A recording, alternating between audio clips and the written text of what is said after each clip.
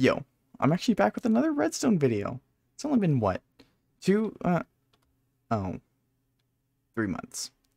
Well, I can tell you that there are several projects in the works, but, uh, you might want to subscribe to see what one of them in particular becomes. I actually said it. Why did I? Whatever become.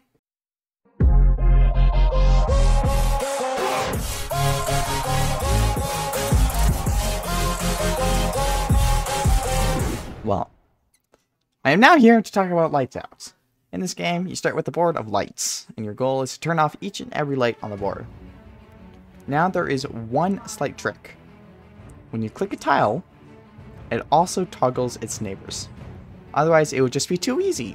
So this is what I came up with.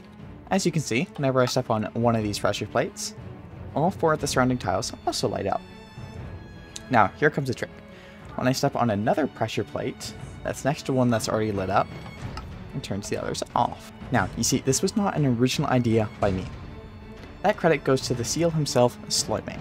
Now, you see, there are no other instances of anyone else doing it but Sloy, so, uh, I, I looked, I didn't find any. Way back in a voice call with Sloimay, I told him that I liked the idea, I was probably going to steal the idea, but just make it smaller.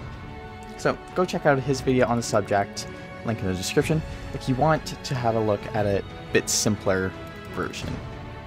It's all rather quite simple. I know, I know, I it's those words, but really, it's quite simple. The orange and yellow bit, that's the input. The pink bit is for the display. The line bit is for the wind detection. And uh, all the actual logic happens in these seven blocks right here. The orange line just brings the signal to toggle the tile down to the dispenser. When the powdered snow is placed, the signal coming out of the dispenser is reduced, and that is just used to say, hey, I'm on, or hey, I'm off. Then the pink line just sends the state back up to the top so you can actually see it. And yes, the green line's there too. It just makes one massive AND gate with all other tiles. The lamp here just tells you that you've won. Anyhow, goodbye!